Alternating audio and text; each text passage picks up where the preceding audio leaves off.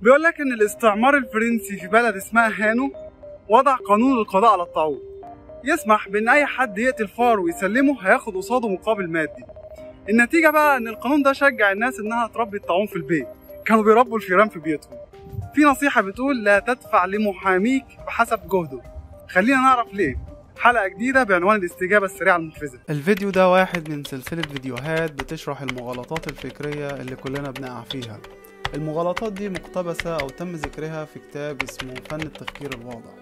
لو أول مرة تشوف الفيديوهات دي فانصحك ترجع لقائمة الفيديوهات على الصفحة أو القناة وشوفها من الأول وتابع الصفحة وقناة اليوتيوب علشان تشوف باقي الحلقات.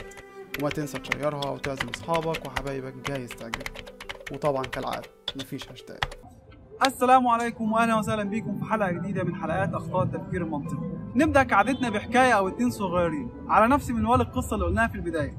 لما اكتشفت رقاقات الكتابة في البحر الميت سنة 1947 هيئة الآثار أعلنت مكافأة لأي حد يلاقي رقاقات جديدة. وكانت النتيجة إن هم قطعوا الرقاقات اللي لقوها علشان يزودوا العدد ويزودوا المكافآت. في الصين حصل حاجة مشابهة في القرن ال 19 لما اتحددت مكافآت للي يلاقي عظام للديناصورات.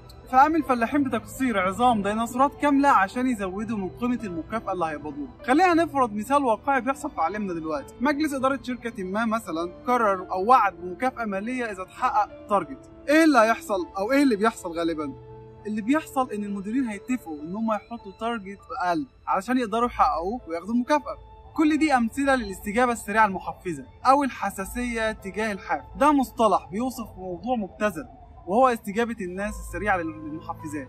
اللي حصل في القصص اللي فاتت دي بيوضح جانبين. الأول إن الناس بتغير سلوكها بشكل جذري إذا زادت أو قلت المحفزات واللي كان واضح من الأمثلة اللي قلناها دي. الجانب التاني هو إنهم بيستجيبوا للمحفز بس مش للنية للي خلف المحفز. أمال إيه الصح؟ الصح إن يكون في تطابق بين النية والمحفز طب خلينا نقول مثال بيخوف شوية للجماعة المهندسين. في روما القديمة كان المهندس اللي بيصمم وينفذ جسر أو كوبري يعني كان بيقف تحتيه وقت افتتاح اهي بقى المحفزات ولا بلاش؟ الفكرة إن الحافز هنا تطابق مع المضمون أو نية الشغل إن هو يعمل شغل مظبوط. بمعنى إنك لو عايز تأثر على سلوك أو أداء منظمات أو أشخاص ممكن تخاطبهم بالعقل تجدد الرؤية والهدف لكن ما تستسهلش بالمحفزات سواء كانت مادية أو معنوية لأن مفعولها هيبقى مخدر للأسف. زي فكرة الجنود النبلاء في العصور الوسطى لما كانوا بيتسارعوا إن هم يشاركوا في الحروب الصليبية للقدس. رغم بعد المسافة وتعب الطريق وإنه أصلا ممكن ما يرجعش وده كان غالبا بيحصل على الرغم من كل ده كانوا بيروحوا برضه. ليه؟ لأنهم مش خسرانين حاجة في الحالتين، لو عاشوا هينولوا جانب من الغنائم، ولو ماتوا هيكونوا شهداء، ده طبعا طبقا لإيمانهم وعقيدتهم. عشان كده المحامين والمعماريين والاستشاريين كلهم بيقول لك ما تدفع لهمش قدر جهدهم، لأنه طبيعي هتلاقيه بيبذل مجهود كبير جدا حتى لو مش مطلوب منه، أو الجهد ده مش مفيد أو زايد عن اللزوم، لأن هو بياخد عليه فلوس، فالأفضل إنك تتفق معاه على مبلغ محدد أو أتعاب محددة ومنه هيقوم بدوره. عشان كده كان في مثل بيقول اوعى تسأل حلاق إذا كان شعرك عايز يتقص ولا لا.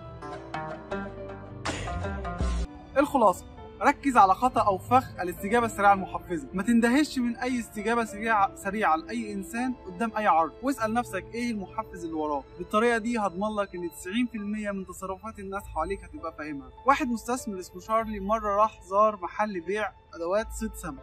مسك قطعة طعم شكلها جميل جدا كده وسأل البائع وقال له بذمتك السمك هينجذب للطعم ده. كان رد البيع عليه أنا ببيع للناس مش ببيع للسمك.